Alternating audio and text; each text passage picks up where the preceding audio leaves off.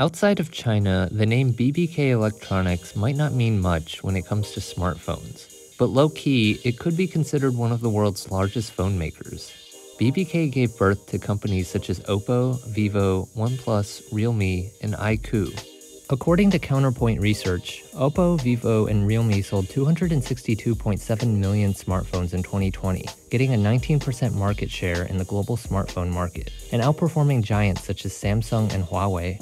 BBK, however, has maintained a scant public-facing presence, while Oppo, Vivo, Realme, and OnePlus have downplayed their shared history, despite evidence on extensive R&D collaboration and links to BBK. Its founder, billionaire Duan Yongping, rarely gives interviews, and the company's management had almost let its brands exist independently. How much stake or participation BBK holds in these companies is unknown, as they are all private firms. Media outlets, however, have mostly referred to BBK as the owner of Oppo, Vivo, and all the other associated brands. A deeper research into corporate filings shows the existence of different holding companies with ties with BBK and the different phone brands. It remains unclear why BBK obfuscates its connections with these phone brands. A plausible hypothesis is that brands like Oppo, Vivo, and OnePlus want to project an image of independence. BBK was founded in 1995 by entrepreneur Duan Yongping. Duan is dubbed as China's Warren Buffett for his career as a professional financier. In fact, in 2006, he had a lunch with Warren Buffett in New York after winning a charity auction with a bid of around $620,000. He used the opportunity to thank Buffett, whose philosophy inspired him throughout his investment career. Before launching BBK in 1995, Duan served as general manager of Zhongshan Yihua Group. In the early 90s, the company manufactured a budget gaming console alternative to the Nintendo, named Subor, also commonly known as Xiaobawang in China, which proved to be a big hit thanks to a successful marketing campaign, including endorsements from action movie legend Jackie Chan. BBK initially cast its eye on educational devices, audiovisual equipment, and communication gadgets. Thanks to catchy advertising campaigns, celebrity endorsements, and an extensive offline retail network, BBK quickly became a major player in China's electronics market. However, in 1999, when the company's mainstay audiovisual segment was besieged by foreign brands like Sony, Duan spearheaded a restructuring and decided to divide BBK into three separate businesses audiovisual electronics, education electronics, and communications electronics.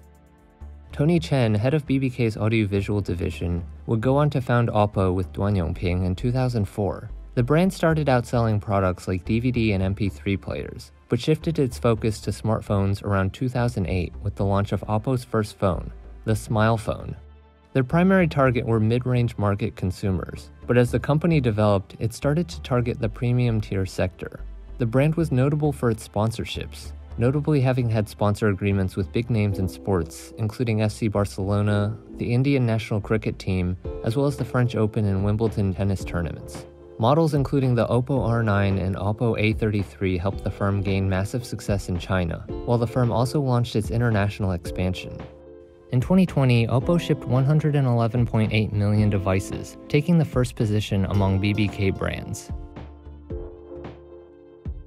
In 2013, Oppo launched OnePlus, a sub-brand formed by Oppo's veteran Peter Lau and Carl Pei, which targeted overseas tech-savvy customers with premium specs at affordable prices. The OnePlus One, released in April of 2014, has been known as the flagship killer for its top-tier specs, but selling at half the cost of the iPhone 6 or the Samsung Galaxy Note 4, the leading premium devices that year. It also created a lot of hype around the brand for an invitation-only system to buy it. Despite the price point, OnePlus devices have gradually increased year after year. The firm has developed a strong community of tech-savvy fans around the world.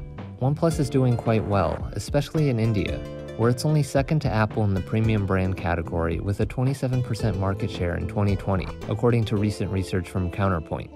OnePlus is also popular in the US and Europe. Oppo and OnePlus initially refused to acknowledge their parents' background, despite similarities in product lineups and common investors. But just recently, the two brands announced the merging of their hardware R&D departments. In 2010, Oppo launched a sub-brand called Oppo Real in the Chinese market. The sub-brand was later spun off by Oppo's former vice president Sky Li as an independent brand in 2018, called Realme. Realme focuses mainly on foreign markets, entering Europe in 2018 and India in 2019. In Q4 of 2020, Realme's smartphone shipments ranked top 7 globally. But what's more interesting is that during the same period, it was the world's fastest growing smartphone brand, with a year on year growth of 80%. What makes Realme stand out in the smartphone market is its cost effectiveness. In September of 2020, it released the world's cheapest 5G enabled smartphone, costing less than $150. Vivo was co founded by Duan Yongping and Shen Wei, former leader of BBK's communication division. The first Vivo smartphone appeared in 2011, and like Oppo, the brand targets the mid range segment. Yet, starting out, Oppo focused more on camera driven innovations, while Vivo turned to sleek designs and hi fi audio. In 2020, Vivo shipped around 57.5 million phones in China, edging out sister Oppo for second place, with both brands individually coming behind Huawei. Of brands under the BBK umbrella, Vivo was the second best selling worldwide in 2020, with 108.5 million units sold, just slightly below Oppo, and with an 8% global market share. The newest brand under BBK is iQOO, launched in 2019 as a sub-brand of Vivo, with a focus on high performance for streaming and gaming. In 2020, iQOO entered the Indian market, where it will operate as its own entity, though it will share Vivo's India manufacturing facilities. Not much information is available about the new brand, but at the moment, it markets a few devices mainly for the Chinese and the Indian market. Unlike aggressive competitor Xiaomi, these BBK offshoots are still privately held and have no plans to go public. Duan has been reportedly living in California since 2001 after his retirement as BBK CEO. However, the empire he helped create is challenging the likes of conglomerates like Apple and Samsung in the smartphone category, even if most users don't even know about it.